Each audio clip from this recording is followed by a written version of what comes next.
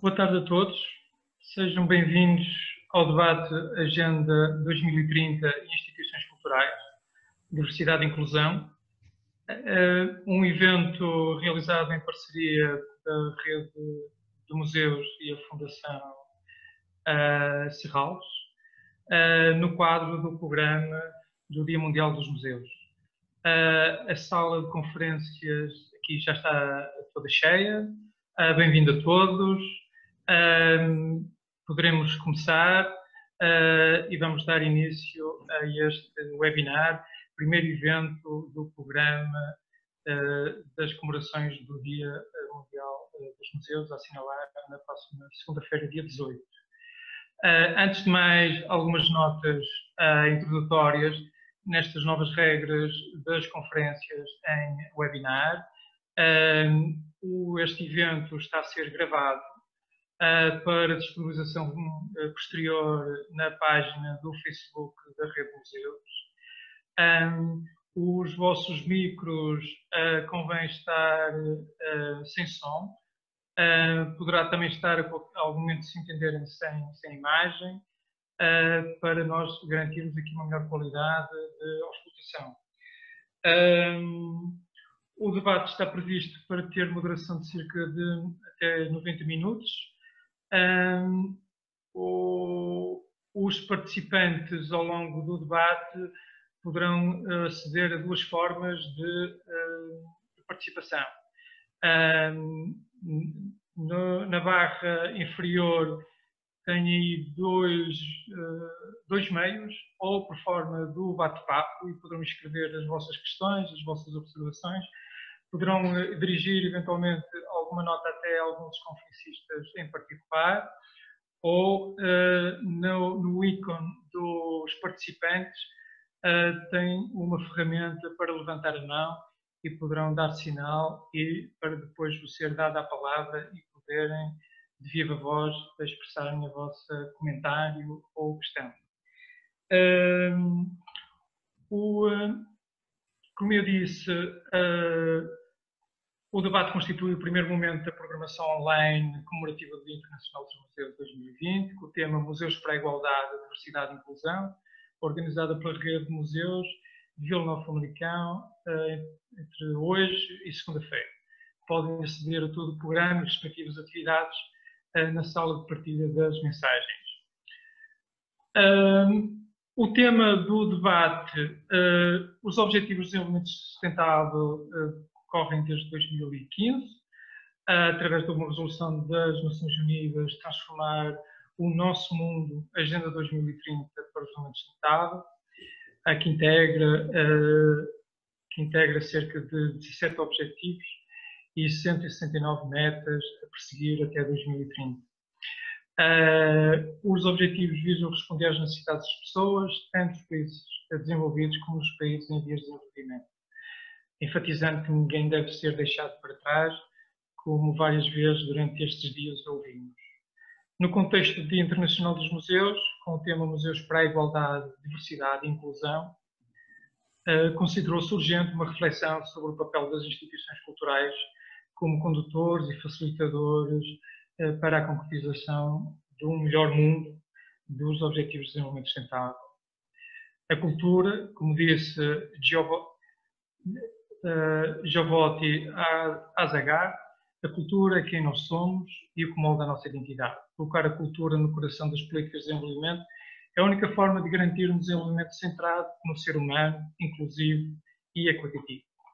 Com este debate pretende-se incentivar um envolvimento mais ativo por parte das instituições culturais e contribuir para a promoção da adoção dos valores e comportamentos e atitudes que a nível local procuram responder a problemas globais. Construir um mundo mais sustentável é, sim, uma responsabilidade de todos. Iríamos começar uh, por uma primeira ronda de, participação dos nossos conferencistas. Uh, António Gouveia é diretor do Parque de Serralves, foi diretor do Jardim Botânico da Universidade de Coimbra entre 2015 e 2019. Trabalhou como investigador no Departamento de Ciências da Vida e da Faculdade de Ciências e Tecnologia da Universidade de Coimbra e colaborou com a Cátedra, Cátedra Unesco em Biodiversidade e Conservação para o Desenvolvimento Sustentável. É doutorado em Biologia especialização em ecologia. Coordenou diversos projetos de gestão e conservação de coleções biológicas e criou o primeiro projeto português na plataforma de ciência cidadã.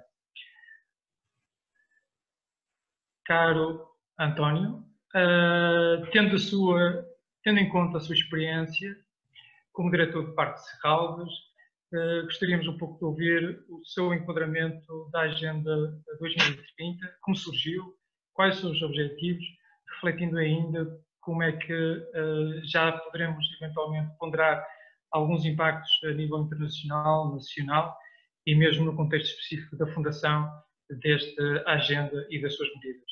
António. Um, obrigado, muito boa tarde a todas e a todos. Espero que, me estejam a ouvir bem. Antes de mais, queria agradecer também ao, ao, município de Famalicão e à rede de museus uh, por esta iniciativa, por terem desafiado Serralves a participar e, e, com isso também promover uma, uma reflexão partilhada sobre esta questão da Agenda 2030. Um, e, e, bom, e, e, agradeço a todos os intervenientes uh, e, e, teremos a oportunidade de falar de um modo bastante informal, espero, uh, porque este tipo de discussões e com uma agenda que é tão alargada e, tão diversificada e com um painel Uh, com, com, diferentes experiências, é, é, de certeza, e para além de toda a audiência que desconhece, e é a primeira vez uh, também que, tenho, que, estou a participar numa, numa palestra destas, tão, tão aberta, mas ao mesmo tempo tão escondida, em que não vemos a cara das pessoas todas, e, e dou-vos as boas-vindas, e, e, e, da minha parte, uh, aqui fugindo já um bocadinho aqui a, às instruções do, do, do nosso moderador, Uh, podem interromper quando quiserem, ou, e se houver alguma necessidade muito urgente de, de, de falar ainda bem. De qualquer maneira, uh, creio que muita gente, muitas pessoas terão já ouvido falar na, na Agenda uh, 2030, esta agenda para desenvolvimento sustentável, que entrou em, em, em vigor no dia 1 de janeiro de 2016, por isso estamos com quatro anos e, e alguns meses, uh, alguns estranhos meses, 15, 20, uh, de, de, vigência desta importante agenda. Uh, e, e, ela foi aprovada em 2015, ainda por um número recorde, na altura 193 Estados-membros da ONU, que todos aceitaram ratificar esta, este conjunto de princípios e, estes, e definiram então estes 17 Objetivos de Desenvolvimento Sustentável, como, como já nos informou o, o nosso moderador. Um, depois tem um conjunto de submetas, 169 no caso, uh, espalhadas por estes diferentes uh, objetivos. Uh, e, e, e, no fundo, esta, este, esta agenda tem como título completo Transformar o Nosso Mundo, Agenda 2030 de Desenvolvimento Sustentável, é uma espécie de, de programa muito ambicioso, global, uh, que, que, pretende informar aquilo que é a atividade de, das nações, mas também desde o nível mais macro até ao cidadão, uh, de um conjunto de princípios baseados na questão da, da, da, da, igualdade, do acesso a oportunidades, de, de respeito pelos direitos humanos, porque isto gostava de frisar, agenda, os objetivos da Agenda 2030, e eu vou lê-los só por, por uma questão também de os ouvirmos, uh, são 17, mas rapidamente se lêem, estão fundados principalmente sobre uh, os direitos humanos, que estão consagrados na ONU, que são 30, e o, o, os direitos à, à, à, qualidade ambiental ou, ou, um mundo ambiental mais sustentado uh, e por isso junta estas duas vertentes. Uh, isto porque estamos sempre a falar em ODS e, e o ODS, a palavra fundamental nestes Objetivos de Desenvolvimento Sustentável, esta questão da sustentabilidade é algo que também já tem vindo a ser discutido, é um conceito bastante operacional, que tem sido usado já há alguns anos, baseia-se fundamentalmente nestes três pilares, no ambiente, na sociedade e na economia. E é esta junção, ou esta, esta, esta hum, interligação entre estes três pilares, uh, que no fundo uh, nos, nos guiam para, para, para utilizar o mundo eh, de forma a que consigamos providenciar os serviços que precisamos dele num determinado momento, ou seja, as nossas necessidades, mas pensando que as gerações futuras poderão também elas suprir as suas necessidades com o mesmo mundo, porque só temos um e por isso temos que o pensar de forma sustentada ao longo das gerações. E é isto que se trabalha na sustentabilidade, é isto que se trabalha a partir destes três pilares, sendo que vivemos numa sociedade em que a economia é absolutamente central e é um, um, um dos motores que, para o bem e para o mal, mais impacto tem sobre aquilo que é o, nosso planeta. e por isso, esta, esta agenda do, desenvolvimento sustentável 2030 que começou, ou como digo, foi aprovada em 2015, mas começou em 2016, vem na senda de uma outra agenda chamada do, do, os Objetivos de Desenvolvimento do Milénio, que arrancou em 2000 e, e, que serviu como uma espécie de guião para a humanidade até 2015, ano em que esta agenda entrou em, em vigor. E muitos dos objetivos já eram consagrados, eram oito, agora são 17, foram de certa maneira um bocadinho mais uh, uh, desagregados para também permitir mais facilmente poder medir os impactos uh, e de facto o avanço na promoção de cada um dos objetivos, mas eu vou lê-los os objetivos do momento sustentável para percebermos também do que é que estamos aqui a falar. E, estamos a falar do número 1, um, que é erradicar a pobreza, o número 2, que é erradicar a fome, o número 3, que é saúde de qualidade, o número 4, que é uma educação de qualidade, o número 5, a igualdade de género, o número 6, água potável e saneamento, o número 7, energias renováveis e acessíveis, o número 8, trabalho digno e crescimento económico, o número 9, indústria, inovação e infraestruturas, o número 10, reduzir as desigualdades, o número 11, cidades e comunidades sustentáveis, o número 12, produção e consumo sustentáveis, o número 13, ação climática. O número 14, proteger a vida marinha. O número 15, proteger a vida terrestre. O número 16, paz, justiça e instituições eficazes. E o número 17, parcerias para a implementação dos objetivos. Eu peço desculpa por esta leitura uh, extensa, mas uh, na realidade, uh, depois de os lermos, muito dificilmente alguém diria que é contra qualquer um dos objetivos ou que não vê estes objetivos inscritos que já naquilo que é a sua formação enquanto cidadão humanista que vive num mundo partilhado e que quer promover, e, e, porque a melhor forma de criar algum tipo de sustentabilidade é promover de facto a igualdade, é promover a justiça uh, no acesso ao conhecimento, a, uma vida digna, ao trabalho, e daí que esta agenda seja simultaneamente muito ambiciosa e, e, muito interessante, mas ao mesmo tempo muito evidente, parece-nos a nós, quando que vivemos, se calhar, e vivemos, de certeza, num, num, num país bastante privilegiado nesse sentido, em que muitos destes, de, destas questões que nos parecem básicas são, de certa maneira, cumpridas. Apesar, mesmo dentro de Portugal, as desigualdades e, e, e dentro de, nestes objetivos ser bastante diversos. Mas, uh, isto para dizer que esta agenda uh, é de facto um, um, guião bastante abrangente e, e, e bastante fácil de, de percepcionar, é? de, de, nós, de nós pegarmos nele e adaptarmos aquilo que é o nosso trabalho, as nossas missões em cada um dos nossos, seja lá onde for que atuamos, uh, porque estamos a falar sempre, e é isso que é muito interessante, e por isso, e até a prova de hoje estarmos aqui uh, através do município, através de uma rede relativamente local de, de, de museus, esses objetivos são tão, são tão interessantes, ou esta agenda que permite olhar para ela, quer a um nível macro global, até a um nível local e ação individual de cada pessoa. Embora, às vezes, nos pareça de facto difícil identificar onde é que o nosso papel pode ser na, na, na promoção destes objetivos ou desta.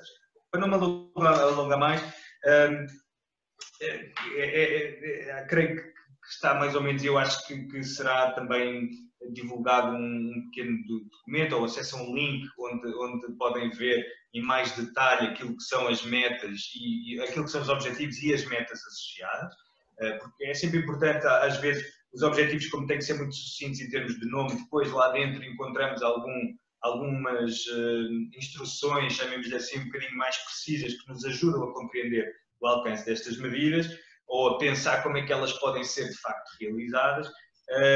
Porque, porque, porque de facto às vezes parece que estamos a falar de temas que são tão gigantes que quase é, é quase difícil pensarmos que conseguimos uh, uh, cumprir. Bem, mas uh, voltando aqui ou focando um bocadinho naquilo que é, e creio que me, que me, perguntou, quer na minha capacidade ou, formação e trabalho que tem sido mais alargado até agora, enquanto biólogo e, e, e, ecólogo, trabalhando com ecossistemas naturais, trabalhando na, na, área ligada à biologia e na, e na, e na, e na questão de, de jardins e, da conservação de, de espécies, na realidade, esta agenda, que, que começou uh, em 2016, tem tido alguma uh, leitura e adoção pelas diferentes áreas e pelos diferentes atores e instituições a velocidades relativamente distintas. Se, por exemplo, uh, as associações não governamentais, os grandes financiadores, até as próprias empresas, as universidades, se foram um bocadinho mais rápidas a adotar esta agenda e, e, introduzir alguns destes princípios daquilo que é o seu funcionamento e as suas missões, até porque muitas delas estão intimamente ligadas a, a este tipo de instituições. Há outras que há outras, outros polos e outras instituições e outros atores sociais que estão ainda a fazer esse trabalho, mas que basicamente ou, bastante, bastante de forma bastante quase generalizada todos, uh, todos estes, estes participantes na, naquilo que é a construção de um mundo mais sustentável, ou que podem ter um papel, estão sensibilizados para esta agenda e participam em maior ou menor escala nesta, nesta questão. Eu, enquanto diretor do Parque de Serralves, e falava nisso há pouco, a minha curta experiência enquanto diretor do Parque de Serralves, eu comecei apenas em janeiro, entretanto, Uh, também temos tido esta situação um bocadinho atípica, um bocadinho bastante atípica e transformadora das nossas vidas, tem sido esta pandemia, mas uh, de certa maneira isso levou-nos também a pensar, olhar para o mundo uh, e principalmente falarmos das questões ambientais e para o ambiente de uma forma bastante evidente, porque, porque, foi, porque também nós temos percepção que é esta nossa relação muitas vezes problemática e mal, uh, mal gerida ou insustentável que temos com os recursos naturais e com os recursos biológicos, com os habitats, uh, que, que, se calhar nos levam a estas situações. Uh, e, que temos que refletir, ou seja, o nosso papel também na, na, nesta, na criação destes novos problemas que nos vão, que nos vão uhum. aparecer. Uhum. Mas uh, o, o, parque é, uh, e Serralves tem essa, essa, essa vantagem incrível sobre bastantes instituições, que é aliar estas componentes uh, natural, ambiental e, e cultural uh, de forma muito forte e muito evidente, com a questão de ter um parque que tem um museu, que tem um, uma casa de cinema, que tem uma série de valências que permitem pensar a arte contemporânea, o cinema, a reflexão, mas também questões ambientais ligadas à sustentabilidade. Okay. E, e, isso acho que é onde nós também eventualmente podemos uh, uh, ter alguma, alguma aqui alguma, alguma vantagem, assim. Ou, ou, um desafio também. Bom, mas um, isto centrando que em termos de, por exemplo, da parte ambiental, e se pensarmos nos objetivos 15, proteger a vida terrestre, uh, os cidades e comunidades sustentáveis ou, a ação climática. Uh, Serralves tem trabalhado, pelo menos uh, uh, ao nível da, das questões ligadas à educação, porque, porque é preciso pensar que os museus, neste caso os espaços, este espaço híbrido que, que é Serralves tem um museu e tem também um parque, eh, tem um papel fundamental naquilo que pode ser a promoção dos Objetivos de Desenvolvimento Sustentável, porque são espaços de salvaguarda de património natural e cultural, eh, material e imaterial, porque eh, enquanto temos, por exemplo, coleções de arte contemporânea, temos também o conhecimento produzido sobre essas coleções, o conhecimento sobre os artistas, mas simultaneamente temos uma, uma, uma, uma, um parque que tem ao mesmo tempo uma coleção viva de plantas, algumas delas com interesse de conservação, mas também a questão mais imaterial eh, transforma em material, que é a paisagem, o desenho paisagístico, a arquitetura, eh, toda, todas estas questões. Ehm, e por isso, as instituições culturais, pensarmos, sejam elas de que tamanho forem, e, e o, que, e, aquilo que é a sua missão têm esta questão de salvaguarda de património, mas são e são absolutamente fundamentais como espaços de disseminação, eh, de transmissão eh, de conhecimento, de difusão eh, intercultural, de pensamento, de formação a diferentes escalas, formal, não formal, de aprendizagem ao longo da vida. E por isso, quanto mais não seja por esta questão de serem polos absolutamente fundamentais de difusão dos princípios da agenda e dos objetivos de desenvolvimento sustentável, dando palco, porque têm normalmente uma audiência muito grande, uh, muito diversa, e são espaços relativamente livres em termos daquilo que são as relações que se pode estabelecer com outras instituições, e nesse sentido trabalhar muito para esta questão, por exemplo, o Objetivo 17, as parcerias para a implementação dos objetivos, os museus são pontos fundamentais para poder criar e gerar estas ligações, introduzir isto, porque a sua missão é, de facto, criar este tipo de debate e de diálogo. Uh, por aí Serralves tem, claro, participado nisso que é uh, o, o, nesta, nesta, com, esta, com estes objetivos da sua missão. Mas, António. Mas podemos pensar, e, e vou terminar, creio que já, que já me alonguei bastante. O, o, podemos pensar, por exemplo, no, no, no Objetivo de Desenvolvimento Sustentável 4, Educação de Qualidade, e falava nesta questão do garantir o acesso à educação inclusiva, eh, que a Alexandra terá a oportunidade de também nos falar, o Ricardo, de qualidade, oportunidades de, de gerar oportunidades de aprendizagem, o Objetivo de Desenvolvimento 11, a questão das cidades e comunidades sustentáveis, porque muitas vezes os museus estão integrados nesta questão do tecido urbano. No caso de Serralves, por exemplo, não só participa enquanto instituição museológica, mas também enquanto parte da infraestrutura verde uh, da cidade, e por isso todos os serviços que isso presta a uma cidade sustentável e aqui dentro podemos encontrar esta questão do, do, fortalecer, do, fortalecer, espaços de proteção e salvaguarda do património cultural e natural, mas podemos pensar na questão do objetivo 15, do proteger a vida terrestre e, aquilo em que é, por exemplo, a nossa participação uh, em, em, projetos ligados à investigação ou até das próprias, da própria biodiversidade urbana que, que encontra habitats e espaços de conservação adequados dentro de, de Serralves. Eu, se calhar, eh, parava aqui. Muito bem, muito bem. Obrigado, António. Obrigado. Um, passávamos então ao Ricardo. Uh, Ricardo Nicolau é curador e adjunto da direção do Museu de Arte Contemporânea de Serralves. Entre 2000 e 2003 foi editor e diretor da revista Pangloss e de 2005 a 2009 curador no Espaço Chiado 8 em Lisboa, onde organizou diversas exposições e comissariou mostras individuais de vários artistas. Foi curador eh, das exposições coletivas QCG, livros e edições da Fundação Serralves, e autor de alguns livros, nomeadamente Fotografia na Arte, eh, de Ferramenta Paradigma e QCG, que já falamos. Caro Ricardo, na persecução desta primeira intervenção do António, e já entrando em fundo na, no, nos papéis e nas missões da Fundação Serralves, de que forma o Museu de Arte Contemporânea uh, de Serralves, no qual exerce funções como curador e de junta de direção, e no âmbito da Estratégia Geral da Fundação, se tem procurado incorporar ou contribuir para esta disseminação dos objetivos da Agenda 2030. Ricardo. Boa tarde. Eh, em primeiro lugar, quero agradecer o convite e felicitá-los pela pela iniciativa, à Edilidade Vila Nova de Famalicão e à Rede Portuguesa de Museus. Ah, eu digo sempre que foi-nos pedido para, durante este período, fecharmos as portas, mas não nos foi pedido para fecharmos os espíritos, portanto, estas ah, iniciativas são de louvar, obviamente. Eu estou a receber um sinal, uma ameaça, estou a ler no meu computador, a sua conexão com a internet está instável. Ah, não sei, estão a ouvir-me bem? Então. Então, eu vou tentar transformar uma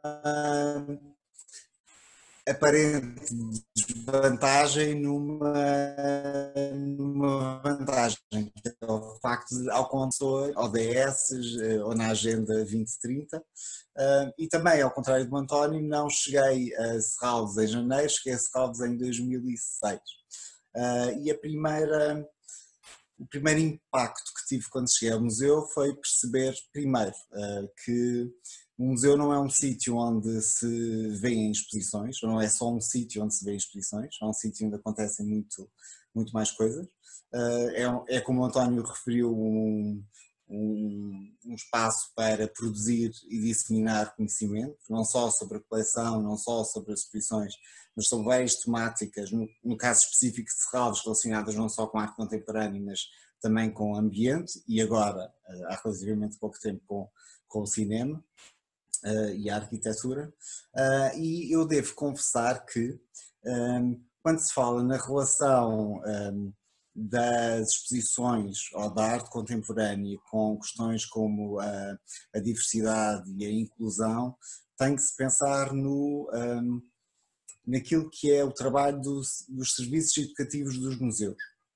Uh, e reparem que quando eu cheguei um, em 2006 a Serralves, tinha esta ideia pré-concebida, que reparei que estava errada, de que os serviços educativos nos museus, ou que a principal missão dos serviços educativos era, de alguma forma, interpretar ou explicar as obras de arte. Isto é, depois da obra de arte feita, uh, o serviço educativo ali estava para interpretar e explicar aquilo que, que o artista tinha feito.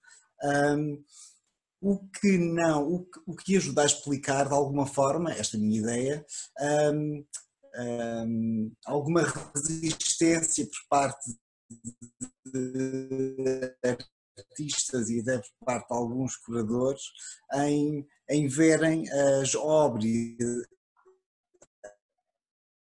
as obras e as exposições, há por parte de alguns curadores e de alguns artistas que os serviços educativos seriam quase desnecessários, ou que seriam um mal necessário. Aquilo que eu reparei quando cheguei a Serralves foi que o serviço educativo, ou os serviços educativos, têm uma missão que ultrapassa largamente esta de interpretar ou de ajudar a explicar a, a obra de arte e, está, e, tem, e tem uma missão relacionada com todas as atividades do, do museu, não só com, com as exposições, tem a, a missão de ajudar, por exemplo, a ampliar as perspectivas sobre o trabalho dos artistas. Isto é, são, é, é o serviço educativo que é responsável por uh, engendrar, uh, conceber programas que amplificam as perspectivas sobre o artista, sejam conversas, sejam debates, seja outra coisa qualquer.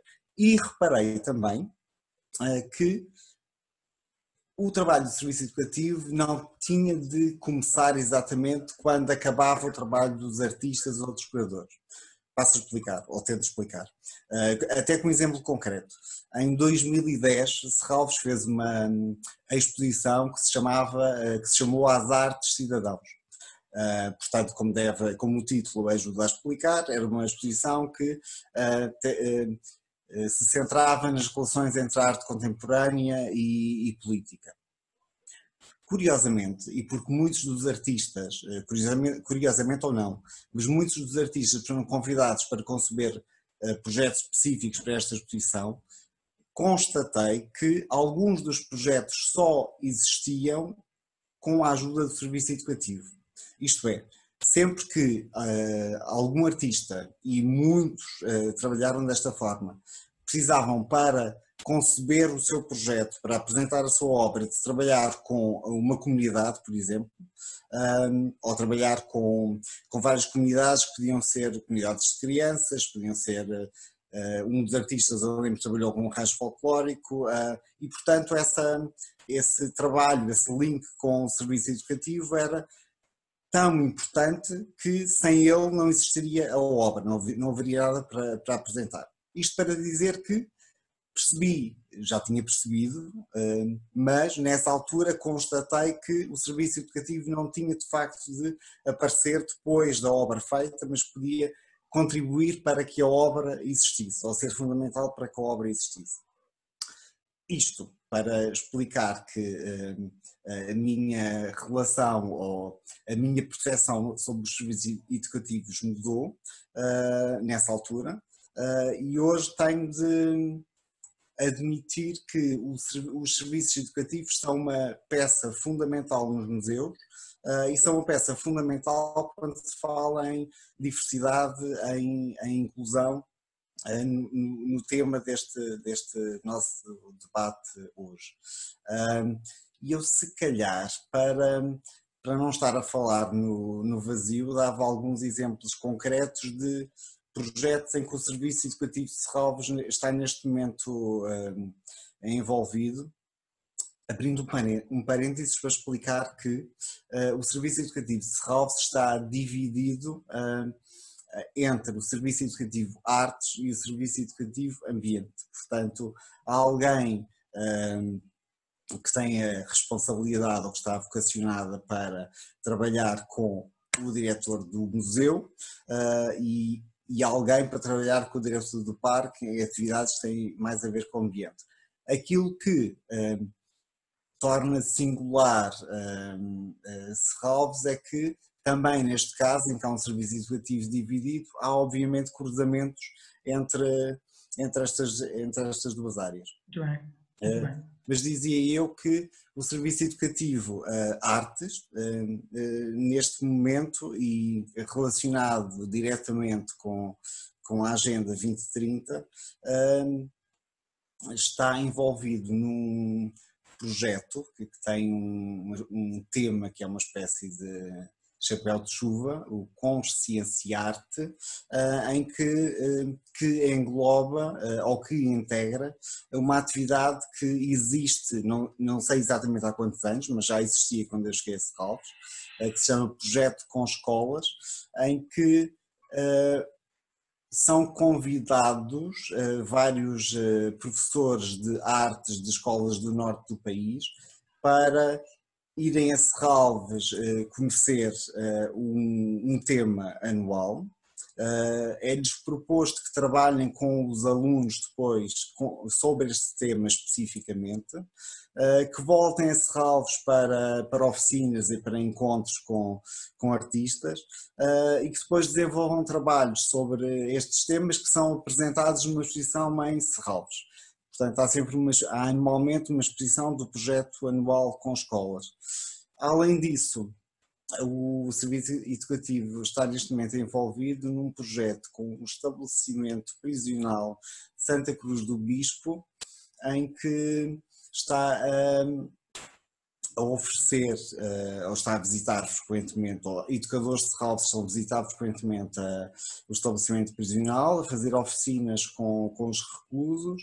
Uh, estamos a encontrar formas, nomeadamente através de exposições, de levar Serralves até ao estabelecimento prisional e estamos, um, e quando eu falo em estabelecimentos prisionais, eu não resisto a fazer aqui o parênteses para dizer que ficámos todos muito mais uh, uh, atentos, uh, receptivos e, sensíveis à questão do confinamento, dada, a situação, dada a situação atual. Mas uhum. dizia eu que temos a intenção e estamos a trabalhar em exposições virtuais que vão ser disponibilizadas aos reclusos através de óculos de realidade, de realidade virtual. Muito então, bem. Alguns Muito exemplos bem. de. Muito bem. Muito bem. Sim, o, o sublinhar aqui dos novos papéis da, dos serviços educativos, os novos desafios uh, e também os novos desafios neste atual contexto que é transversal a vários domínios, nomeadamente o domínio cultural e artístico. Um, passávamos a palavra seguida à nossa terceira convidada, a Alexandra Serra, Uh, é professora auxiliar no Instituto Universitário de Ciências da Saúde, SESP, investigadora principal e membro da equipa de coordenação científica e técnico do SYNCLAB, Social Inclusion Laboratory, um grupo de investigação da mesma faculdade. Uh, desenvolve e coordena a investigação em âmbitos uh, como a promoção da inclusão e coesão social, designadamente o desenho de planos e políticas e práticas públicas e privadas nos domínios da ação social, Educação, Juventude, Inovação Social ou Envelhecimento Ativo. Boa tarde, Alexandra. Olá. Um, todos os anos, uh, e desde 1977, o Conselho Internacional dos Museus assinala este Dia Internacional dos Museus, com o objetivo de aumentar a consciencialização para o facto de que os museus são importantes meios de permuta cultural, enriquecimento das culturas, cooperação e paz entre as pessoas. Eh, este ano temos por tema Museus para a Igualdade, Diversidade e Inclusão. Eh, tem por objetivo tornar-se um ponto de encontro para celebrar a diversidade, é este o desafio para o Dia Internacional dos Museus, eh, para celebrar estas diferentes perspectivas que compõem as comunidades, o pessoal dos museus, além de promover ferramentas para identificar e superar preconceitos através dos que expõem e das histórias que contam. Tendo por tema o, o, o tema do, do, nosso, do nosso debate, assim, um, e tendo presente a sua, a, o seu papel na área académica, uh, de que forma o Dia Internacional dos Museus considera que se relaciona com os objetivos uh, da Agenda 2030 uh, e também se neste tempo já, já são assinalados alguns exemplos de projetos de investigação que tentam relacionar uh, este, este, papel entre as instituições culturais uh, e a promoção da, da, inclusão e coesão social. Alexandre. Ok, muito, muito boa tarde a todos e a todas. Como os meus colegas, eu começo por agradecer o convite que me foi lançado por Famalicão e me foi lançado pela rede um, portuguesa de museus, bem como da Fundação de Serralves, para estar aqui hoje uh, em representação do, do Sinclab, uh, então um grupo de investigação da Faculdade de Psicologia do Porto, e para falar um bocadinho sobre os, os propósitos desta equipa de investigação que basicamente pretende colocar a investigação ao serviço da inclusão social, e já há 10 anos que faz isso, e ao serviço da promoção de comunidades mais inclusivas. Eh, quanto à questão que o Francisco me coloca, e antes de falar um bocadinho sobre alguns projetos de investigação que, que nós temos desenvolvido e que temos conhecimento, hum, parece-me que a questão colocada tem naturalmente uma resposta muito assertiva. Sim, estão relacionadas. Esta questão de pensarmos o museu como uma forma de promoção da igualdade e da diversidade e uh, os objetivos da Agenda uh, eh, 2030 estão completamente relacionados. Por um lado, um, por um lado, os museus e outras instituições culturais, e como o Francisco salientou, um, efetivamente um, proporcionam-nos oportunidades reais,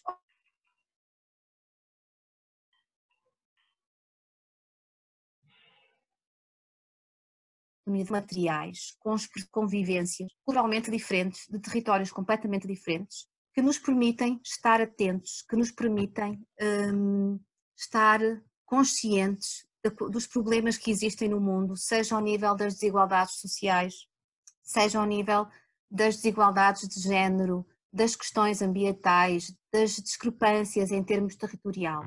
Tudo isso, da forma certa, pode, hum, pode, pode ser acedido pelas pessoas que vão visitar os museus ou outras entidades pode ser entendido e pode constituir-se aqui como um momento de reflexão crítica e como um momento de interiorização que pode ser muito importante. Mas, por outro lado, eh, não podemos esquecer que os museus continuam a ser um local algo fechado no espírito de algumas pessoas, quase um lugar de culto para a cultura e como um lugar de culto que é, às vezes é um lugar distante, não é? É, é difícil isto pensarmos em ir a um museu.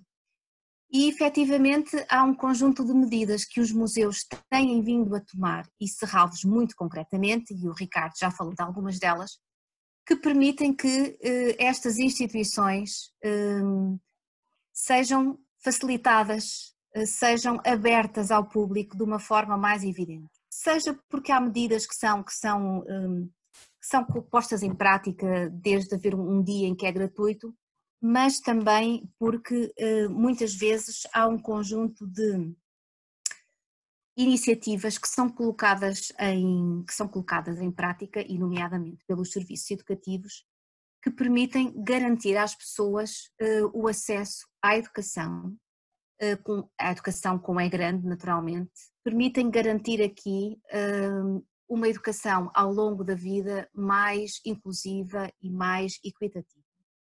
Estas duas funções, por um lado o acesso e por outro lado a possibilidade de demonstração, acabam por concorrer entre si e acabam por se complementar, tornando os museus como um veículo que pode ser privilegiado, pode ter aqui um papel importantíssimo ao nível de nós conseguirmos tornar as sociedades mais inclusivas e mais equitativas.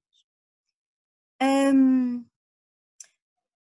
para além disso, um, concretamente Serralves, mas outras instituições também, têm vindo a perceber este papel. E mais uma vez aqui tenho que realçar aquilo que o Ricardo falava, uh, concretamente em relação aos serviços educativos. Os serviços educativos são aqui o mecanismo que vem abrir ainda mais a porta dos museus e permitir que as pessoas possam aceder a um conjunto de eh, de equipamentos, a um conjunto de obras, a um conjunto de materiais que estaria muito mais fechado, só muito mais, com um acesso muito mais dificultado. E concretamente, eh, os, os, serviços educativos vão tendo alguma preocupação ou com comunidades específicas, como é a questão das comunidades escolares, como o Ricardo falou do Conscienciarte, mas também de outras comunidades, às vezes pautadas por alguma vulnerabilidade social que as torna mais isoladas e que as torna mais uh, afastadas destas oportunidades. E falamos aqui muito concretamente um, das pessoas portadoras de deficiências ou incapacidades, e Serralves tem um projeto já há bastante tempo, mas agora de se calhar construído de uma forma mais elaborada para esta questão, que é o Olhares Inclusivos, com os reclusos, quer os reclusos de Custóias, quer as reclusas de Santa Cruz do Bispo, como o Ricardo falou, ou Janelas para o Mundo, e tudo isto tem aqui um papel muito importante porque permite chegar a populações ocultas, escondidas, que teriam muita dificuldade em aceder a este tipo de instituições. Desde a sua gênese, talvez não desde a sua gênese, mas desde esta nova estruturação que veio agora, surgiu agora em Serralves devido a um conjunto de circunstâncias, hum, estes programas contemplam aquilo que nós chamamos de medição de impacto social. Basicamente, a medição de impacto social um, consiste em avaliar a eficácia e medir de uma forma rigorosa e sistemática em que medida cada uma destas intervenções vem concretamente provocar mudanças nas pessoas, hum, nos seus participantes, nas pessoas que as frequentam, que as vivem, que as experienciam, etc. Mudanças comportamentais, mudanças sociocognitivas, mudanças ao nível da atitude, mudanças ao nível da relação com a comunidade. Todas estas dimensões, perfeitamente medíveis por nós psicólogos, que há anos que trabalhamos em escalas e provas e testes e testezinhos e coisas do género, uh, permitem-nos consolidar de uma forma sustentada aquilo que é a questão uh, da igualdade e aquilo que é a questão da inclusão. Dito de outra forma, estas dimensões permitem-nos operacionalizar aquilo que é a igualdade. Uh, o facto da pessoa sentir que tem oportunidades de participação e que tem oportunidades de desenvolvimento. Infelizmente, devido a esta questão da pandemia, nós ainda não temos resultados de Serralves, em que estamos a avaliar uh, tanto os janelas, os olhares inclusivos, aliás, como janelas para o mundo, como através da Aplixar o Conscienciar. Mas posso falar-vos muito rapidamente de duas outras uh, situações uma uh, que acontece desde o ano passado com o Teatro do Bolhão, no Porto, e com um projeto que se chama-se A Barca, A Barca, que está baseado nas questões do, do teatro, naturalmente, e que decorre nos 17 municípios da área metropolitana do Porto. E alguns, e com alunos, desculpem, essencialmente com estudantes do primeiro ao décimo segundo ano, e os resultados eh, ainda muito incipientes, porque efetivamente esta interrupção dos trabalhos de terreno veio aqui trazer algumas condicionantes, mas um, estes estudantes, efetivamente, do tempo de intervenção que têm, uh, já conseguem ter uh, um domínio mais consolidado ao nível da língua portuguesa, desenvolveram competências de trabalho de grupo, conseguiram desenvolver também uma identificação mais estreita com a escola, com a identidade de escola, e tudo isto são questões que, se vocês pensarem, estão intimamente ligadas com as questões da inclusão, porque é a escola deles e há aqui um conjunto de competências essenciais. Outro exemplo, para terminar, que eu vos queria falar, eh, é um projeto de investigação que nós temos com a Fundação António Cupertino de Miranda, também aqui no Porto, é, é a realidade que nós conhecemos melhor, um, e que tem a ver com as questões de literacia financeira. Já há, eu não vos sei situar quando, mas já há bastantes anos que esta fundação uh, e este museu tinham este programa de literacia financeira dirigido às escolas. E em 2017 propuseram-se a fazer aqui a medição de impacto e perceber em que medida este programa uh, impactava os seus participantes, que eram neste caso os alunos, uh, os alunos de diversas escolas. E os resultados? Nós já temos resultados de mais de 4 mil crianças, respectivos pais e respectivos professores que fomos vindo a recolher ao longo do tempo. E os resultados mostram com, com muita robustez que efetivamente estes miúdos não só desenvolvem competências ao nível da literacia financeira e até ao nível de alguma, chamemos de sensibilidade para as questões financeiras, mas também desenvolvem uh, uma melhor relação de grupo, exatamente porque as atividades muitas vezes são realizadas em contexto de turma, mas em contexto de grupo. São miúdos que vêm, têm vindo a demonstrar que dominam melhor as questões da comunicação e, mais uma vez, eh, têm melhores notas em termos de sucesso escolar, isso também se verifica, e, mais uma vez, melhoram a sua identificação com a escola. Muito bem. Como há bocado o Francisco dizia aí muito bem, eh, a cultura molda a nossa identidade e a escola tem aqui um papel em termos de socialização que é incontornável. Uhum. Conseguimos juntar isto tudo, a aprendizagem, a escola, a cultura, a socialização e conseguirmos mostrar evidências científicas de que efetivamente isto acontece, acho que nos permite dizer que estamos no caminho certo, não para almejar que a cultura esteja ao serviço da diversidade, mas para mostrar evidências que isso de facto está a acontecer. Uhum. E, é, e, eu acho, e nós achamos, aliás, uh, e quando eu digo nós, não é só o Synclab, mas também Serralves, que isso de facto é, é, muito importante e é decisivo. Ok, muito bem, Alexandre. Uh, temos então os museus aqui a colaborar para a transformação do mundo, uh, no seu papel de, de, de, acelerador, de investigação e de, e de proporcionar a abertura de novos horizontes e mais largos horizontes. Uh, chegamos aqui a uma nova fase do nosso debate, uma fase que abrimos à participação de todos, que desse lado daí uh, nos estão a acompanhar. Uh, eu não estou a ver neste momento toda a gente, mas através do, do bate-papo ou através de sinalética de levantar levantar a mão uh, no ícone dos participantes, uh, podem participar ou de viva voz ou escrevendo as vossas notas. Uh, eu não sei se já haverá alguma questão. Se alguém já quer fazer uma primeira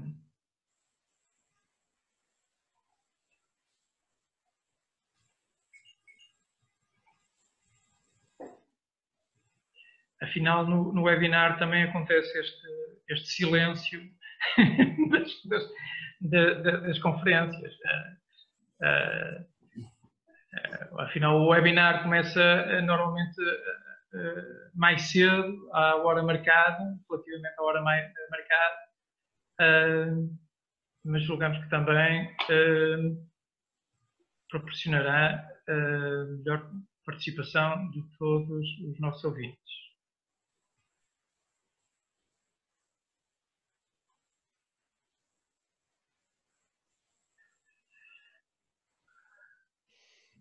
Um, nós, no, numa parte uh, do que a Alexandra estava a dizer e que também quer o António, quer uh, o Ricardo também uh, sublinharam. Um, não sei se poderíamos aqui comentar entre todos. Um, afinal, este, este papel uh, da cultura que uh, pode ser compreendida como também, e, nomeadamente no domínio do museu, particularmente, como uma área de formação da atenção. a cultura compreendida como uma área de formação de atenção. Aí os serviços educativos uh, também têm este papel de mediação, um, mas também como um meio que permitirá uh, largar a experiência humana. Uh, também pode ser um papel importante da cultura nos, nos seus diversos domínios e reconfigurar ou alargar este horizonte de possibilidades em que nos movemos visto desta forma, um, para uma melhor persecução destes objetivos de um mundo melhor, uh, eles só serão perseguidos se nós tivermos de facto um papel eh, forte uh, e dinâmico da cultura nas nossas sociedades. Uh, será, assim, será assim, Ricardo, António, Alexandre? Deixava ao vosso comentário.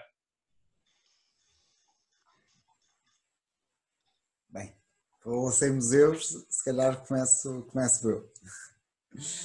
Uma coisa, há pouco estava a ouvir a Alexandra a falar sobre o museu como um, um espaço ainda de alguma forma quase religioso. E, e Serralves tem essa coisa que espanta um, o, o, visitante quando vai pela primeira vez em Serralves, eu pelo menos fico espantado, que é, uh, bem, primeiro espanto é logo, uh, e isso uh, chapou ao arquiteto Álvaro Cisa, conseguiu essa proeza de toda a gente perguntar mas onde é que é a entrada nobre do museu? Não existe uma entrada nobre. Toda a gente pensa que está a entrar pela garagem ou pelas traseiras, mas é de facto a entrada principal do museu. E a entrada principal do museu, para quem já foi a Serralves, tem uma grande pala uh, e, infelizmente, para uns faz algum eco, o que não seria tão problemático se não tivessem sempre pelo menos dezenas de crianças à espera de entrar, de entrar no museu. E essas crianças vêm das, das escolas mais diversas e dos contextos mais, mais diversos, ah, e de facto se Serralves tem vindo a aprimorar a sua relação com a, com a noção de inclusão, devo dizer que desde o início de Serralves, eu não estava lá, mas sei que uh, sempre entraram em Serralves gratuitamente crianças uh, que tinham uh, que eram apoiadas pelo Estado, por exemplo, ou sempre sempre houve essa política de apoio ou de incentivo a que crianças que normalmente não iriam ao museu fossem. fossem. E pronto, dito isto, houve-se o eco uh, de várias crianças que vão entrar no museu. Uh, e o segundo, segundo, o segundo ou terceiro espanto, já me perdi nos espantos, uh, é que as crianças, quando são recebidas no museu, por educadores nomeadamente, é-lhes perguntada, são-lhes perguntadas coisas.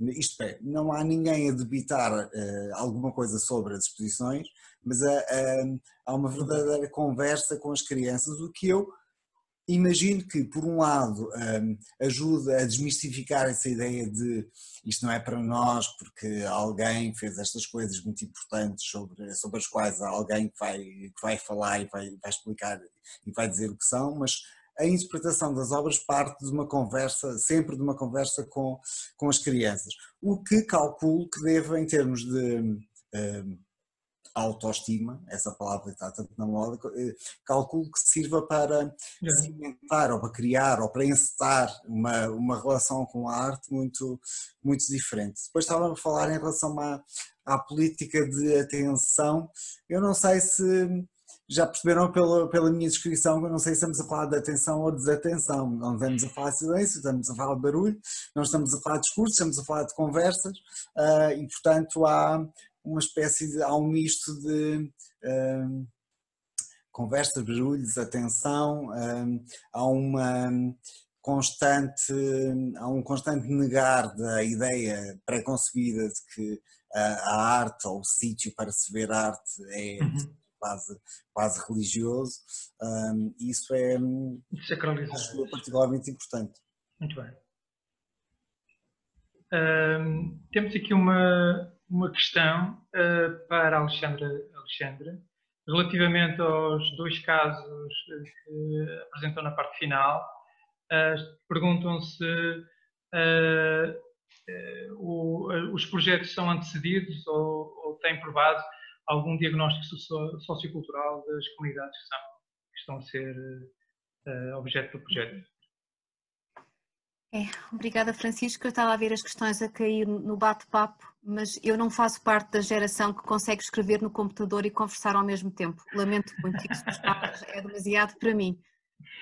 Um, eh, vamos lá ver. Relativamente a Serralves, relativamente ao Bolhão e também relativamente à, à Fundação Cupertino de Miranda, eh, aqui do Porto, efetivamente todas, todos estes processos de medição de impacto surgiram no âmbito de candidaturas que exigiam um processo de diagnóstico, um processo de conhecimento do território, eh, no qual nós, equipa do Sinclab, não estivemos envolvidos, mas sabemos que efetivamente isso aconteceu. Não será um diagnóstico sociocultural exatamente como a Casa do Camilo, gostava de saber o nome de quem é a Casa do Camilo, para não chamar Casa do Camilo aqui alguém que me está a fazer perguntas. Célia, creio. A Célia, obrigada. Como a Célia está a colocar, mas há, há sempre essa preocupação de haver aqui um diagnóstico, por mais, uh, por, por menos aprofundado que seja, mas no sentido de perceber se estas medidas são as medidas mais ajustadas para uh, o público que se destina.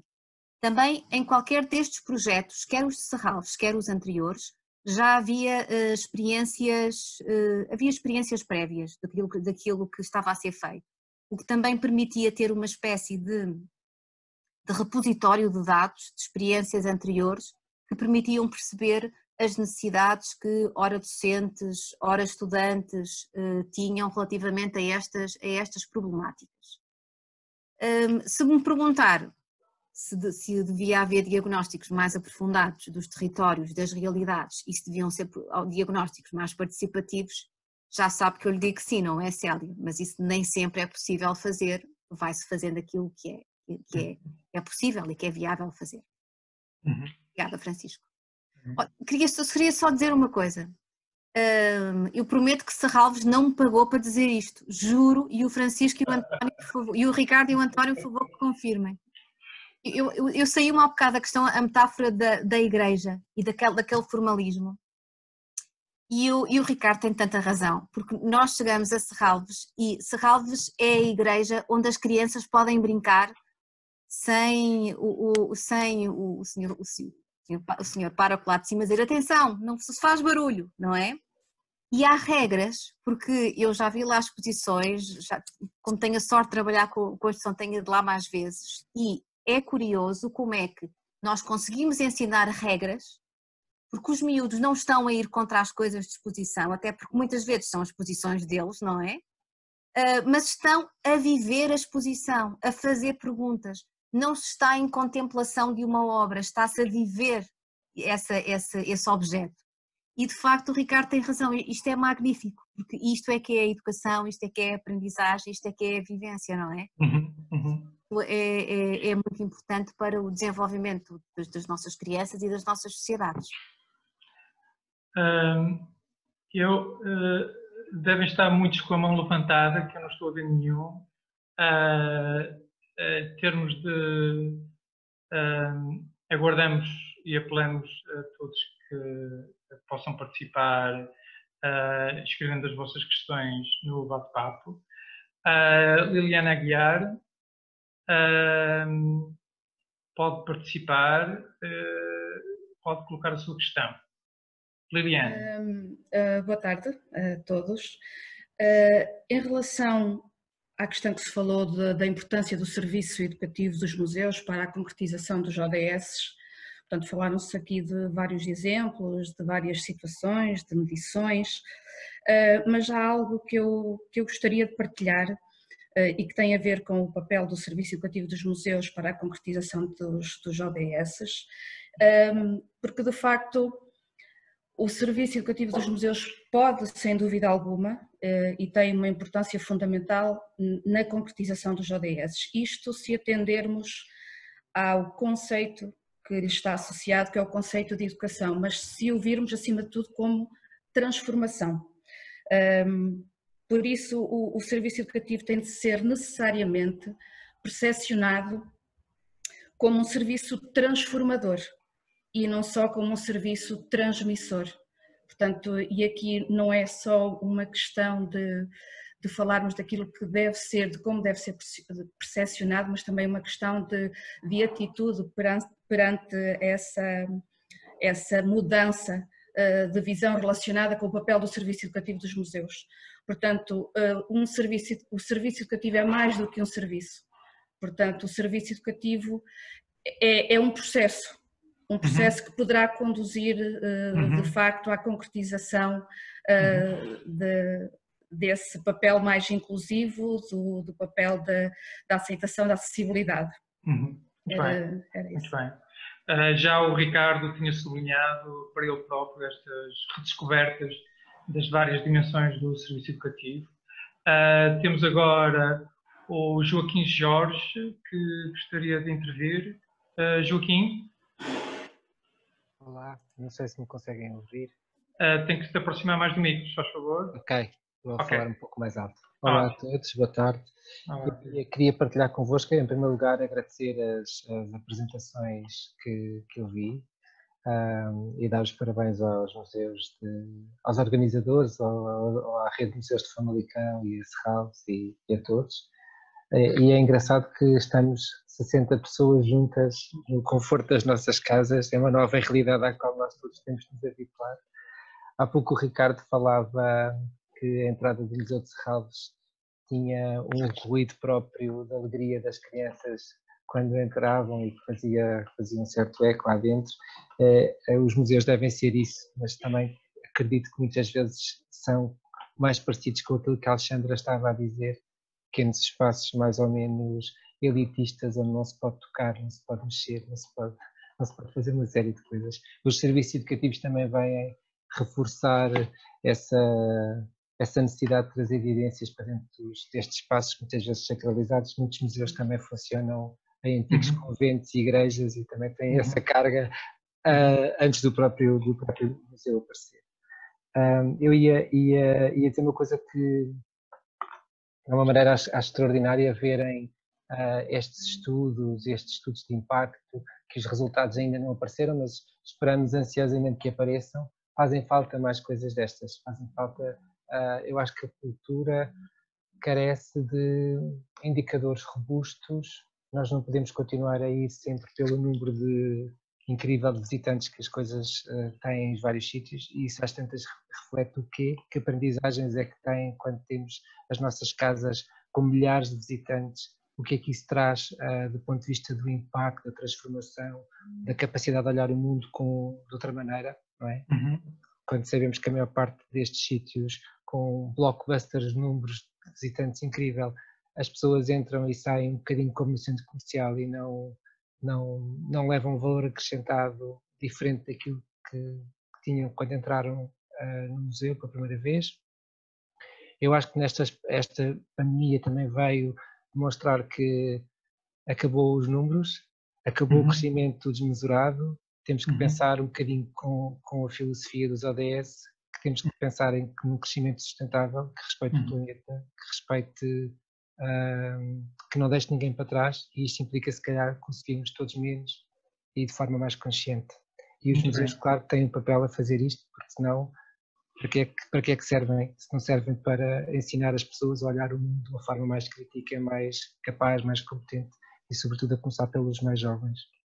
Portanto, feito este introito um bocado teórico-filosófico, um, queria partilhar convosco uma experiência eh, que tive durante alguns anos, no, e se calhar vou pôr aqui no bate-papo, como se diz, agora, um, de, um, de, um, projeto que, no qual estive envolvido de uma forma muito particular durante, durante muitos anos e que, e de certa maneira, tentou levar para dentro dos, dos, do museu em particular, do Museu Municipal de Lourdes, onde trabalhei durante 20 e muitos anos, um, uma reflexão em torno dos, dos ODS, na altura ainda eram os ODM, os Objetivos Desenvolvimento e depois é que são os ODS.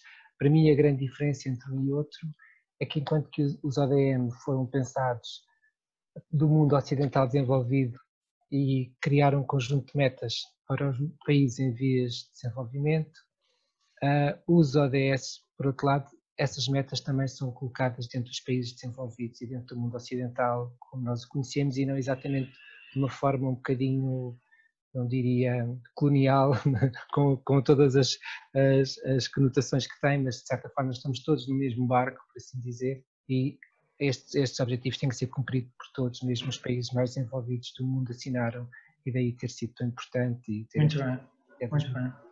Eu acho que esta é, é a, a, grande diferença entre um e outro, é a uhum. ideia de estarmos todos com um conjunto de coisas, uns têm que fazer o downsize e os outros ainda têm que, que aumentar um bocadinho. Okay. Como é que um museu pequeno, local, municipal, pôde envolver-se nisto? Tenho que vos dizer, e concordo outra vez com a Alexandra, trabalhar com projetos cofinanciados e quando temos a obrigação de fazer este tipo de medições, uh, ajuda-nos a fazer coisas que quando fazemos com o nosso parque recurso, estamos tão ocupados, se calhar, a fazer um conjunto de coisas que, quando é obrigatório, não as fazemos. Aí o facto de trabalharmos com, em parceria e com projetos cofinanciados, e sendo obrigatório fazer isso, uh, temos mesmo que o fazer e vamos encontrar pessoas, para, se calhar, como a equipa da Alexandra, que nos ajudam a fazer coisas que, se calhar, de outra maneira não faríamos. E é muito importante que essas coisas possam ser partilhadas, que essas práticas possam ser replicadas. Um, o que nós fizemos foi exatamente isso. Nós fizemos uma parceria com, com o Instituto Marquês de Valflor e durante cinco anos consecutivos apresentámos uma candidatura que foi constantemente chumbada até ao último ano que foi e foi a partir desse ano que começámos a trabalhar.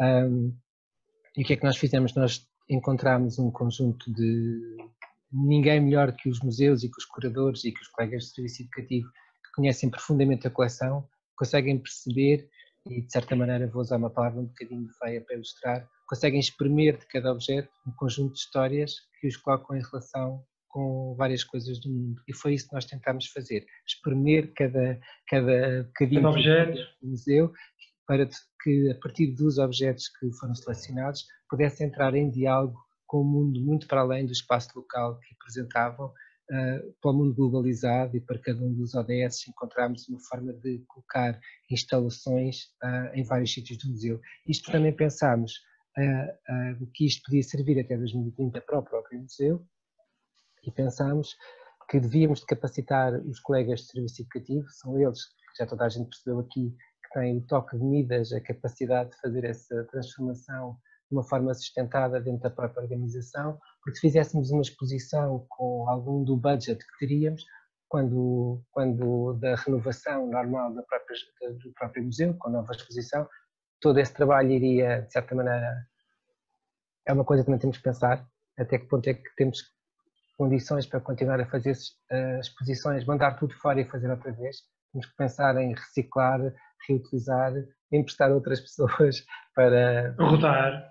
rodar, os recursos são muito escassos, mas pronto, queria deixar esta, esta, esta, ainda vou partilhar o website do próprio projeto. Muito obrigado. Nós tínhamos vários, vários, vários parceiros e fizemos 40 ferramentas à volta de 40 objetos, são 40 histórias que podem servir de inspiração para outros museus quererem agarrar.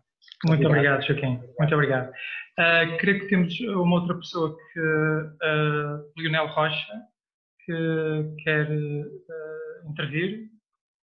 Lionel? Então, muito boa tarde a todos e a todas. Eu queria também começar por, por agradecer à, à, à equipa da, da rede de museus eh, por esta organização. Ehm, queria eh, agradecer a Serralves esta colaboração, agradecer ao, António, ao Ricardo e à Alexandra também a sua participação neste debate Ehm, serve, eh, quanto a mim eh, e eh, enquanto responsável por estas áreas em, Famalicão, serve para, por um lado, conhecer a realidade de Serralves, conhecer a realidade de outras, de outras instituições, para aprendermos com elas, naturalmente, mas serve também para, com Serralves, com outras instituições, podermos também ver o nosso trabalho e ver o rumo do nosso trabalho. E, portanto, nessa perspectiva, eh, acho que eh, esta, esta lógica da, incorporação eh, e com a preocupação de termos os ODS no nosso trabalho, também Famalicão tem aqui um papel e tem, tem aqui trabalho já feito e está a perseguir este, este objetivo.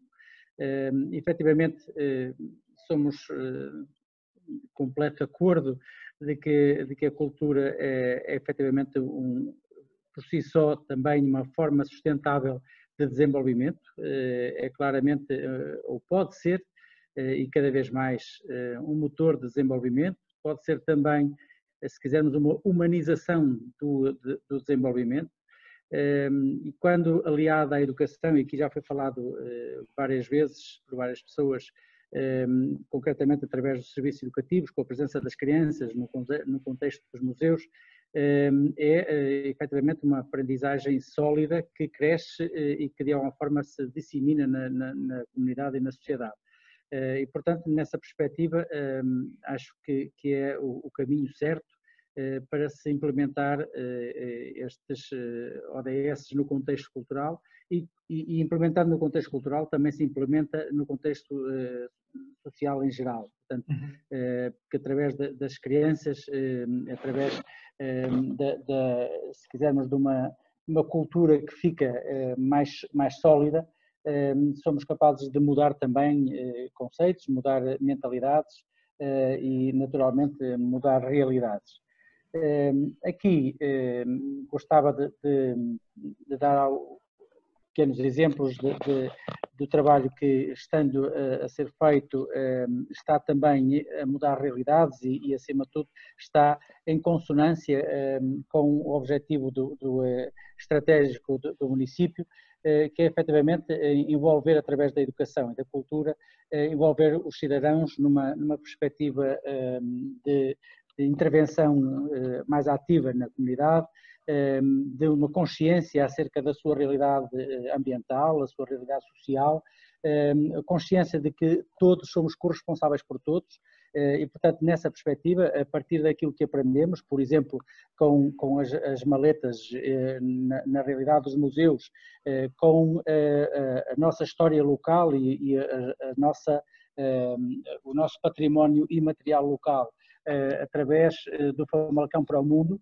eh, o projeto que estamos a implementar sobre a história local, naturalmente estamos também a proporcionar às escolas e aos alunos, aos professores em geral também, esta possibilidade de, ehm, a partir de uma realidade local, conseguir também eh, mostrar eh, a importância que, que, que temos, a importância que existe o local no, no, numa, numa, história universal eh, e numa cultura universal. E, portanto, nessa perspectiva, quero reiterar este agradecimento a todos quando se lembraram deste debate quero dar os parabéns aos oradores e, eh, de alguma forma, também eh, mostrar o nosso interesse, por um lado, numa maior cooperação com o Serralvo, com quem somos eh, município também cooperante, e também lançar o desafio à Alexandra da possibilidade de poder, porventura com o conhecimento da realidade famalicense, poder também ajudar-nos a conseguir estar mais ativos na, implementação dos objetivos de desenvolvimento sustentável no campo cultural, nomeadamente a partir dos, dos museus. Uh, Lionel, obrigado. Uh, uh, é de facto um, um, desafio também nós irmos medindo os tais impactos que os serviços educativos e as instituições culturais são capazes de uh, proporcionar aos, aos cidadãos. Uh, tenho aqui uma outra questão uh, coletiva dirigida aos convidados e aos participantes em geral, colocada por Nelson Pereira, chefe de, de, cultura de, do município de Famalicão, sendo as atividades dos museus, na sua diversidade, uma ferramenta fundamental na capacitação dos cidadãos e na afirmação da comunidade no seu coletivo, pergunta o Nelson, uh, que novos desafios e impactos uh, no trabalho dos museus uh, a atual pandemia nos vai colocar nos próximos tempos, enquanto busca permanente de uma sociedade mais justa e equilibrada. António, não sei se queres começar fazer aqui um comentário. Posso começar, sim. Uh, eu acho que essa pergunta é a pergunta que está na, na mente de todos e é a pergunta que, que, nós temos feito porque estamos, de certa maneira, a reagir em tempo real a uma realidade que também ainda não estabilizou, ou uma nova normalidade, ou, uhum. uh, e, e, por isso todas as atividades humanas neste momento estão, estão a ser pensadas nesta, nesta, nesta luz. Mas eu diria que a própria pergunta que, que o Nelson Pereira faz, e é, muito obrigado por esta questão, e é, é, é, no fundo resume, acho eu, também porque é que estamos aqui, e a própria agenda é uma resposta a este, os objetivos uhum. da Agenda 2030, uhum. é uma possível resposta, ou pelo menos um possível uh, guião para começarmos uhum. a responder a esta questão, porque, porque é, é um bocadinho da, daquilo que já falei na minha intervenção inicial. É, a nova normalidade pode ser um novo mundo é, é, um tempo, se calhar um fogo que nos vai permitir uh, fazer também como, como outras pessoas já falaram, fazer assim uma espécie de reset, ou pelo menos pensar-se estas ideias que tínhamos sempre, o crescimento constante, de, de, de, uma produção até de atividade excessiva, diríamos uhum. assim, ou aceleração. Uma aceleração, uma, uma certa voracidade, voracidade. a transformação daquilo que nós temos, porque isso também, por exemplo, faz parte das próprias instituições culturais, mas e no caso uh, de, de, serem polos onde também fervilha pensamento e há muita coisa para mostrar e por isso uh, temos essa urgência, não é? E, e, essa urgência é agora ainda maior, mas se calhar podemos pensá-la de uma forma mais a, outro, a um outro tempo a um outro ritmo. Uhum. Por isso, esta ideia de que tivemos aqui a discutir e, no fundo, o papel dos museus, e agora estou a falar, quando falo em museus serralves, é mesmo o próprio, a atividade que o próprio parque permite uh, ou providencia, que é esta questão da literacia, seja ela uh, ao nível mais uh, de questões ambientais e de sustentabilidade, seja ao nível de cultural, da arte, do pensamento, ou seja, esta participação uh, no museu da forma como falou, na atenção, ou a forma como damos atenção ao mundo, ou como olhamos para o mundo e, e, e nesse, nesse gesto também o transformamos. É, é absolutamente subjacente a tudo o que é a atividade dos museus e, e, por isso eu acho que, como diz o Nelson Pereira, os museus vão ser, uh, os museus, as instituições culturais, com museus, com jardins, com, que eu coloco aqui também instituições que têm coleções, é? sejam vivas ou uh, coleções que estejam abertas, que sejam interpretadas e que até cumpram um papel de, de, de salvaguarda e transmissão de conhecimento. Uh, e, e, no caso, por exemplo, da, da, da própria rede de museus de Famalicão, não é? tem uma diversidade grande em termos de, de, de instituições e de objetivos, um, terão certamente, beneficiarão certamente desta, desta agenda para, para, para trabalhar aquilo que é a adaptação ou a, das pessoas a esta nova uhum. realidade, porque as pessoas também precisarão destes locais dar algum tipo de e nem digo, nem, até nem percebes ser tão pedagógicos, mas às vezes até só de conforto e de, e de contemplação, como é o caso, por exemplo, de um jardim ou de um parque, não é? é que nos permitam tempo para pensar e, e, e ao mesmo tempo uh, absorver, e falou-se muito aqui também na palavra transformação, não é? Esta experiência transformadora daquilo que é uh, a atividade dos museus, no que fazem com as suas exposições, com, com, com, seus, com as suas coleções. eu acho que, que, que no caso, uh, que esta pergunta é muito bem respondida, ou pode ser muito bem respondida, e temos aqui uma boa forma de começar a pensar através dos Objetivos de Desenvolvimento Sustentável. Uh, eu diria só, só para, para aqui, para, para ligar, que até a este nível de, e é uma coisa que falou-se muito na questão do, claro, de, de, dos museus enquanto motor de disseminação dos objetivos e daquilo que são as suas. Mas os próprios museus, enquanto estruturas que funcionam uh, e que produzem coisas e gastam energia e, e, e, enquanto instituições, elas também podem integrar. Um, ah, desde a liderança, a sua gestão, a sua operação, uma série de princípios ligados a questões mais ligadas à sustentabilidade e dos ODS, uh, que, que, que, neste momento também, neste momento de repensar a forma como vivemos no, no mundo, uh, pode ser muito importante também logo só como motor. Ou seja, é mais um eixo de participação das instituições culturais que tem a ver elas próprias, mas elas próprias, próprias terem uma, um funcionamento de acordo com os ODS. Um, não sei se o Ricardo ou a Alexandra quer comentar a pergunta do Nelson. Eu ia só fazer aqui um breve comentário que se calhar se distancia um bocadinho, não sei.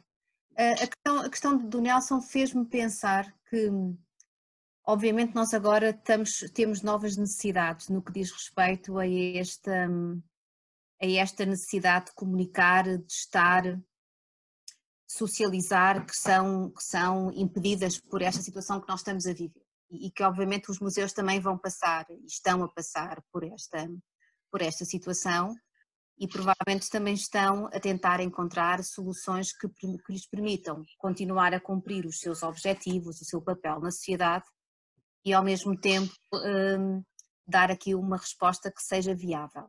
Porquê é que eu falo em resposta viável? Porque própria situação de pandemia acaba por nos colocar aqui algumas preocupações em termos da, da oportunidade e da igualdade.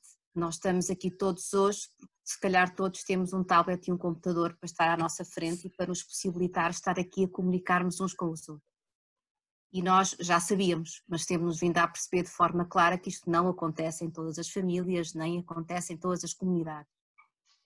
E, e que é preciso efetivamente encontrarmos aqui novas alternativas eh, e que muitas vezes passam pela, pelo, pelo, pela distância, pelo teletrabalho, pelo, pela videos, pelas videoconferências, pelas webinars, que é a forma dos museus continuarem ativos. Aliás, Serralves está a fazer isso, está neste momento a construir eh, kits pedagógicos, não é António? É, que é exatamente, é, dentro da equipa, é a subequipa do ambiente com quem nós estamos agora, com que estão agora a começar a trabalhar, exatamente com esta preocupação, kits pedagógicos para as escolas, com atividades, com oficinas que já tinham, um, e kits também para um, instituições com, com pessoas com deficiência ou incapacidade, não é? Por isso, há, aqui uma resposta. É, é sempre preocupante, é uma boa resposta, é uma resposta que vai ter impacto, nós vamos avaliar o que podemos do impacto, é uma resposta que mesmo assim sabe a pouco, não é? Porque efetivamente uh, nós temos que repensar ainda mais como é que vamos continuar a trabalhar estas questões um, dos ODS nestas condições, porque tudo fica mais visível, digamos assim, e, e, a, nossa, e a nossa intervenção tem que ser muito mais incisiva e muito mais assertiva para conseguir resolver estas questões. Mas se calhar sou eu que estou um bocadinho mais pessimista, digamos assim, em relação a estas questões. Acho que temos que ser inventivos e criativos Acho que sim, é um momento. A nasce, para... nasce o engenho, não é? E eu é. acho que nós somos muito engenhosos, por isso iremos encontrar aqui soluções. Novas soluções. Uh, Ricardo, queres anotar alguma coisa?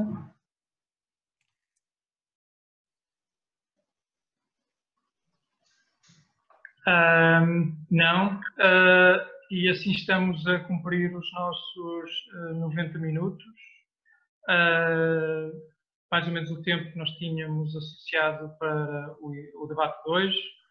Um, antes de terminar, se não houver mais nenhuma questão, apenas um apontamento pessoal.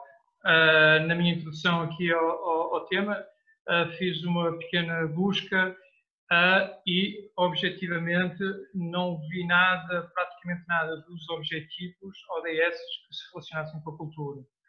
Uh, a não ser o objetivo 4, refere a palavra cultura, uh, num, num, papel da educação, nomeadamente na valorização da diversidade cultural e na contribuição para uma cultura para o desenvolvimento sustentável. É uma, é uma das medidas do objetivo 4. O objetivo 5, igualdade de género, também fala que que, que, deve estar aqui a promover contra todas as formas de discriminação contra as mulheres, sem objetivamente referir o papel da cultura. O objetivo 8, relativamente ao trabalho digno e crescimento económico, tem aquela referência da interligação de, de, do turismo com o património cultural, associando que promover um turismo sustentável que crie emprego e promova a cultura e os produtos locais e o objetivo 11, uh, eh, relativo às cidades e às comunidades sustentáveis, uh, também refere a palavra cultura ou cultural, nomeadamente o objetivo de fortalecer, uh, proteger e salvaguardar o património cultural e natural do mundo.